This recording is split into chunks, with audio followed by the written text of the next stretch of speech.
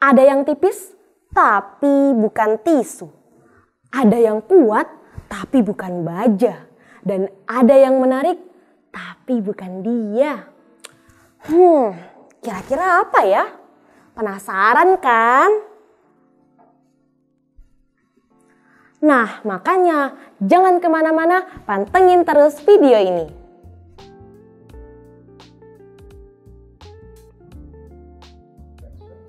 Assalamualaikum warahmatullahi wabarakatuh. Halo sobat semua, gimana nih kabar kalian semua? Semoga selalu sehat dan bahagia ya. Selamat datang di podcast pertama saya. Perkenalkan, saya Uli Maristawati, kelas 12 putri dari SMIT Istiqomah YPAIT Balikpapan. Ya, pada kesempatan kali ini saya akan membahas tentang gravitasi. Loh, kok bahas gravitasi? Eits, tenang dulu. Gravitasi ada kepanjangannya loh, yaitu Gravena Inovasi Tarik Revolusi. Kali ini saya akan mengulas tentang materi paling kuat dan paling tipis yang pernah ditemukan manusia. Saat ini masih terus dilakukan uji coba lab untuk kemudian dilakukan produksi skala besar. Namanya adalah grafin. Sejak materi ini ditemukan atau diolah, ini berarti grafin bisa disebut bahan terkuat dan tertipis yang pernah kita temukan.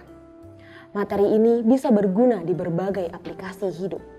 Bahkan Fortune Business Insight ini memproyeksikan nilai pasar grafin pada tahun 2027 mencapai hingga 2,8 miliar dolar. Wow, besar banget ya. Nah, teman-teman, grafin adalah material super Mengapa disebut demikian? Karena kemampuannya yang luar biasa jika diaplikasikan ke kehidupan manusia. Sumber materialnya juga sangat berlimpah dan sebenarnya sering kita lihat yaitu pada grafit di pensil. Kalau bahasa kita adalah arang pensil. Grafena ini merupakan allotrop karbon yang berbentuk lembaran tipis dan dikemas rapat dalam bentuk kisi kristal seperti sarang lebah. Grafena yang sempurna terdiri dari sel-sel yang berbentuk heksagonal dan dua dimensi dalam perspektif elektron. Manusia sebenarnya sudah tahu ada grafin ini pada tahun 1859 dan selama 150 tahun manusia tidak bisa mengisolasi grafin. Hingga akhirnya pada tahun 2004 dua ilmuwan yaitu Andre Gayeng dan juga Konstantino Vesel ini bisa mengisolasi grafin hanya dengan menggunakan selotip yang ditempelkan ke arang pensil yang dilakukan berulang-ulang dan akhirnya menemukan grafin yang sangat luar biasa. Grafin ini juga dapat menghantarkan listrik lebih cepat dari tembaga dan menghantarkan panas lebih baik daripada berlian.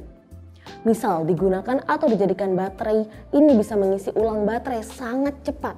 Super kapasitas grafin ini hanya akan memakan waktu 5 detik untuk mencarger handphone kalian loh. Namun masih ada kendala dalam produksi baterai berbahan dasar grafin ini, yaitu masih terbatas pada pengujian lab dan biaya produksinya yang masih sangat tinggi dan pemasokannya pun masih sangat jarang dibandingkan dengan nikel, silikon, ataupun litium dan mangan. Selain itu, grafena juga dikenal sebagai objek tertipis dan teringan di dunia dengan ketebalan hanya satu atom itu sama saja dengan jutaan kali lebih tipis dari rambut manusia dan tujuh kali lebih ringan dari udara. Bisa kebayang nggak tuh jutaan kali lebih tipis dari rambut manusia? Wow, material ini dapat ditekuk, merenggang, transparan, dan tahan air. Grafena juga bisa mencegah korosi dan karat loh, bahkan bersifat biodegradable.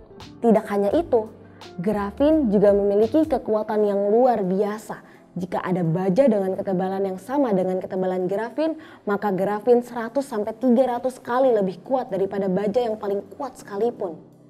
Saat ini, raksasa teknologi sudah mulai melakukan uji coba grafin loh, seperti Samsung, Tesla, dan juga GAC. Teman-teman, kemunculan grafin ini bisa merevolusi banyak sekali industri, saat nanti sudah bisa diproduksi secara massal, grafin akan berdampak pada pembuatan semikonduktor, kemudian juga konstruksi, kedokteran, panel surya sampai ke nanomaterial. Ke depannya ini akan bisa kita lihat sepatu olahraga yang lebih ringan, kemudian bahan elektronik yang bisa dilipat dan dicuci, cat rumah yang bisa digunakan untuk menangkap tenaga surya, atau juga bisa menyaring air paling keruh sekalipun. Masya Allah, keren banget kan teman-teman?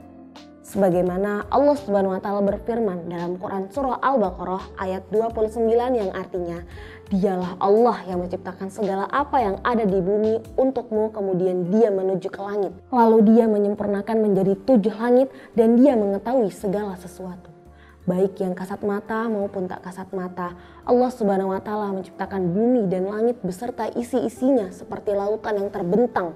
Bahkan ketika bumi digali selapis dua lapis, semua kekayaan berupa minyak tanah, mangan, besi dan segala macam logam, semua itu Allah Subhanahu wa taala yang menciptakan juga grafena yang berasal dari grafit yang memiliki manfaat yang luar biasa untuk kehidupan manusia ini. Semua itu Allah Subhanahu wa taala ciptakan hanya untuk kesejahteraan manusia.